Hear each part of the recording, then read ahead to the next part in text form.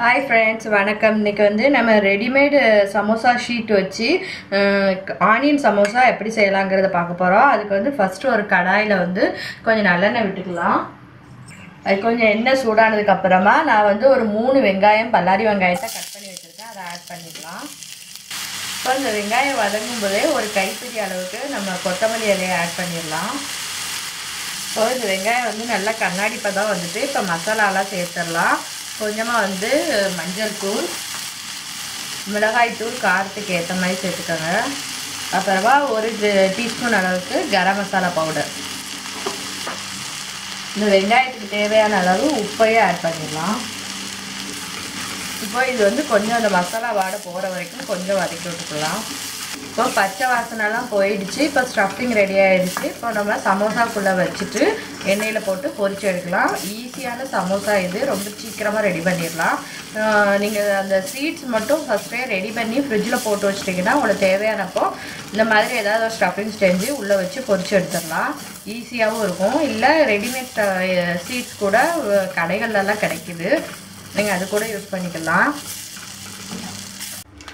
நான் இன்றைக்கி இந்த மாதிரி ரெடிமேட் சமோசா லீவ்ஸில் தான் வைக்க போகிறேன் இப்போ இதுக்கு வந்து நம்ம ஒரு இதை எடுத்துக்கலாம் ஒரு சீட் எடுத்துக்கலாம்.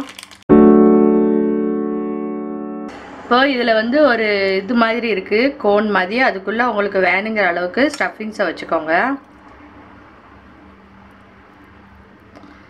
இதை வச்சுட்டு இப்போ இந்த இந்த மிச்சம் இருக்கிறத இந்த பக்கமாக வச்சுட்டு மீதியை இந்த பக்கமாக சுற்றி விட்டிங்கன்னா உங்களுக்கு சமோசா சூப்பராக ரெடி ஆயிரும். இந்த மிச்சம் இருக்கிறத இந்த இதுக்குள்ளே இடக்குள்ளே சொறி விட்டிங்கன்னா அது நின்றுக்கூடும் இல்லை உங்களுக்கு இது கஷ்டமாக இருக்கிற மாதிரி தெரிஞ்சிச்சுன்னா கொஞ்சம் மைதா மாவு பேஸ்ட் வச்சு கூட நீங்கள் ஒட்டி விட்டுறலாம். இந்த மாதிரி சமோசா எல்லாம் ரெடி பண்ணிவிட்டு நம்ம இப்போது எண்ணெயில் பொறிச்சு எடுத்துடலாம். இப்போது எண்ணெய் வந்து நல்லா சூடாயிடுச்சு. நான் ஒரு சமோசா வந்து காரத்துக்கு வந்து எல்லாம் ரெடி பண்ணிட்டேன். இப்போ இதை வந்து ஒன்று ஒன்றா இதுக்குள்ளே போட்டுடலாம்.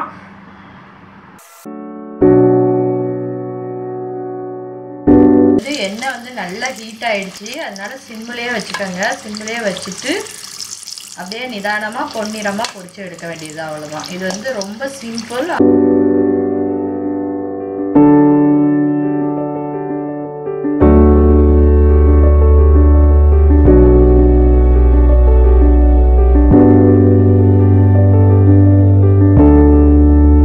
இப்போ வந்து நல்ல பொன்னிறமாக வெந்துடுச்சு. இப்போ இதை எடுத்துடலாம் அந்த சமோசாக்களை